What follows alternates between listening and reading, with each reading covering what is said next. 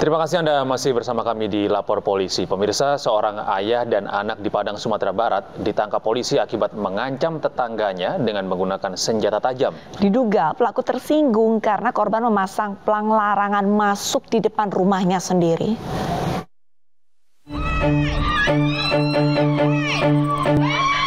Sebuah video amatir beredar di media sosial merekam seseorang pria berjalan membawa senjata tajam berupa arit sambil mengancam seorang wanita. Dalam video tampak wanita yang diancam berusaha menghindar dari pelaku. Sementara sejumlah warga berteriak agar pelaku menghentikan perbuatannya. Peristiwa ini diketahui terjadi di Perumnas Indarung 1, Kelurahan Padang Besi, Kota Padang, Sumatera Barat. Berdasarkan rekaman video itu, pihak kepolisian kemudian mengamankan dua pelaku pengancaman, yakni seorang bapak beserta anaknya.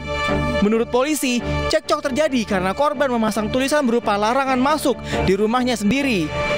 Diduga pelaku yang merupakan tetangga korban tersinggung dengan larangan tersebut. Jadi korban ini dia rumah sudah lama tinggal.